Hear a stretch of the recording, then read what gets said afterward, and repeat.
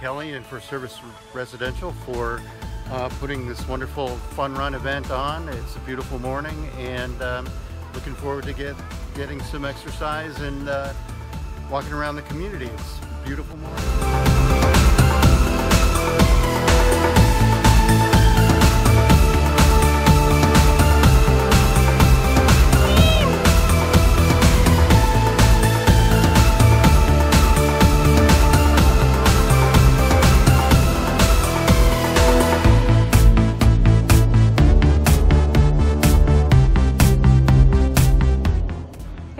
Hey Joe, you are definitely representing today in the fun run.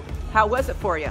Well, actually, it was pretty good. Easier than I thought it would be. I normally run the other way around. It's a little easier, but uh, I feel good. By the way, my cholesterol is perfect. My uh, triglycerides are perfect. All my HDLs and LDLs are perfect. So get out there and start running. All because of running. You're in good shape. It's a big part of it, yeah. All right. How old are you? 73. Woo! All right.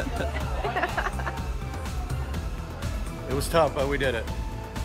And thank you, Chimera, for providing all the juice and pastries and snacks. And uh, it was a great, great event. Keith Carter and June Carter. She'll be here shortly.